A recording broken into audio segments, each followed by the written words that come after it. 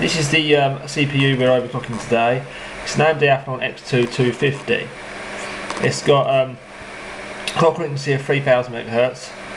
It has a bus speed of 533 MHz. We've built it as the uh, memory controller on the chip, so that could pose uh, some interesting issues. Sockets AM2 plus or AM3. It's 938 pins. Obviously it's a 64-bit CPU. 65 watt part standard.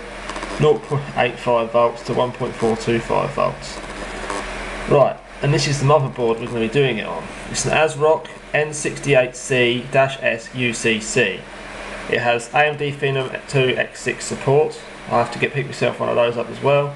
Supports UCC features, unlocked CPU core, Hyper Transport 2000 second DDR3 and DDR2 support, integrated NVIDIA graphics 72 7025, which is a 7 series with um, DirectX 9 capability and Shader Model 3.0 support.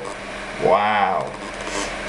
And um, yeah, supports ASRock Fast RAM, XFast Lane, XFast USB technologies, supports Instant Boot, Instant Flash, OCDNA, ASRock OC Tune-Up, 150% CPU increase. Yeah, that will uh, be interesting if you tried that. Supports Intelligent Energy Saver, blah blah blah blah.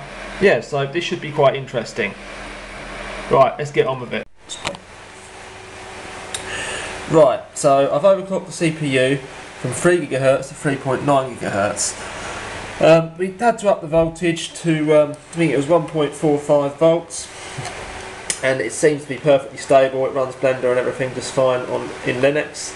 My mate's got me Windows CD at the moment, so and he's also got USB. So we're going to put Windows 7 on this thing, and um, yeah, we'll be all good. Um, yeah, he has the Windows disk and the USB key for Windows 10. But apart from that, it all works. So we'll be running some games on this thing, benchmarking some games on this thing, and as well as 3D Mark in the future. And we'll also be doing Sub-Zero CPU calling to see if we can push it further. Right, that concludes the video on the AMD Athlon X2 250. Sorry, not AMD Athlon X2 250, AMD Athlon 2 250. Try saying that three times fast. Okay,